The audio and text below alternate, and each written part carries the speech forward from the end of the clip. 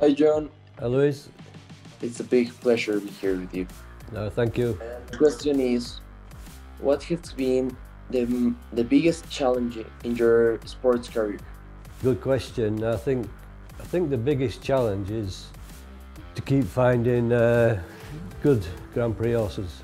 Yeah, I've been very lucky. I've had a long career, but it's to stay at the top. You need uh, constant uh, Grand Prix horses. It's really difficult to find them, but sometimes you find them just by luck or just being at the right place at the right time. And, and you, you, you ride? Yeah, I'm actually riding here in Mexico. One day I would like to be a professional rider just like you. Uh, good luck with that and uh, you have to work hard and keep trying. Don't give up. Thank you so much. Good luck.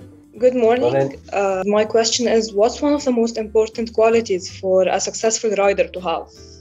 Okay. I think, well, experience, you need to, the younger, I think the younger you start to ride, the better. So you look quite young, so uh, uh, practice, learn horsemanship, you know all those things. As a, as a rider, balance is very important. To stay with the horse's movement, stay relaxed, calm, all those things. Practice, practice is the main thing. Ride as much as you can. And, and to ride different horses is also good. Thank you. Good luck. Hello.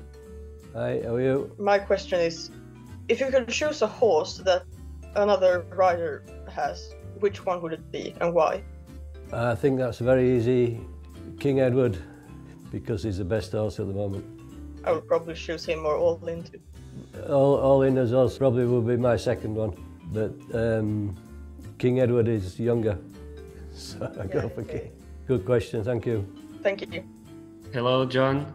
Hi, morning. My question is since you first entered the sports up until this point, how exactly has the sport changed and how did you deal with it? Yeah, to be honest, I still don't know the rules properly. but no, I think uh, one of the big things that has changed in the sport is the fences we jump, the material. You know, when I first started, there were really big, heavy poles with deep cups. But now they're really, really light. I think you, you, you compete with top riders every week. If you don't improve and you don't stay with the times, then you, you go backwards. So, Thank you, John, for answering. okay, you're welcome. Nice speaking to you. Hi, John. Hi, morning, Diago. Is it difficult to compete in family? No, I think, uh, as you probably know, I've got, we've got, I've got a big family. my brothers and my sons and daughters and nieces and nephews all riding. And I think, yeah, the only difficult part about it is finding good horses for every, all, the, all the family. But uh, apart from that, I think it's, it's a good atmosphere to ride with your family. We compete against each other and we fight against each other and uh, we give confidence to each other. So it's, I think, in fact, it's, uh, it's a big help to have family around when you're competing. Thank you so much. You're welcome. Hi, John. Hi, Alex. Hi, lovely to meet you. And you, where are you from, Alex? Oh, I'm British. Oh, you're British. All right. You might be able to understand me then. So, my question is um, what would you change about the sport?